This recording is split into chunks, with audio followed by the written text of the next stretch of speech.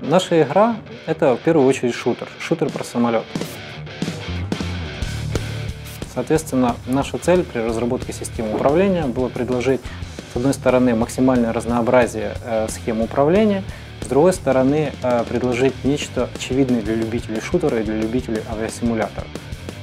Одной из основных целей при разработке проекта является выработка нескольких схем управления, которыми может воспользоваться игрок.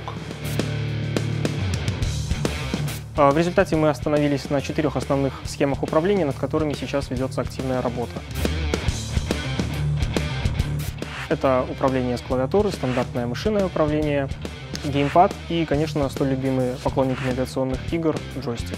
Мы хотим добиться простоты управления от каждой схемы, чтобы игрок мог выжать максимум из своей машины. Клавиатура – одна из э, довольно распространенных систем управления, принятых в нашем проекте. Она проста, предсказуема и прямолинейна. Э, кнопки работают по принципу включено-выключено, то есть при нажатии отклоняют управляющие плоскости самолета с максимальной скоростью в крайнее положение. Как результат, э, самолет двигается несколько дергано, но в то же время эта схема управления достаточно проста и позволяет выполнять фигуры высшего пилотажа. Управление с мыши клавиатуры, э, оно более очевидно и более удобно, опять же, для игроков с шутерным прошлым, и оно более чуть более казуальное. В данном случае игрок управляет э, движением собственного самолета с помощью курсора мыши. Поначалу его движения могут выглядеть несколько неуклюже, но спустя некоторое время приобретают необходимую плавность и четкость.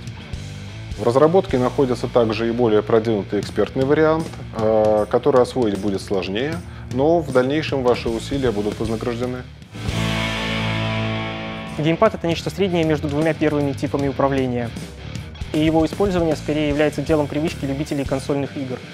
По стилю управления он ближе к клавиатуре, но обеспечивает большую плавность движения. Джойстик можно назвать оружием настоящих виртуальных пилотов.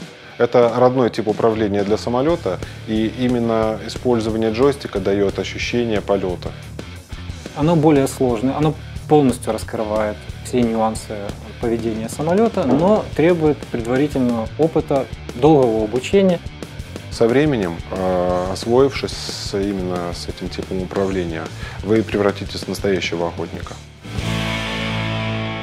Все типы управления постоянно находятся в э, процессе совершенствования. Мы э, пытаемся их улучшать каждому патчу. Наша конечная цель – сделать все виды управления одинаково эффективными и сбалансированными, так, чтобы выбор той или иной схемы полностью зависел от личных предпочтений игрока. Каждый из этих типов управления позволяет игроку в общем-то, максимально реализовать свои привычки и добиться хороших результатов в игре вне зависимости от того, какой тип управления игрок выбрал.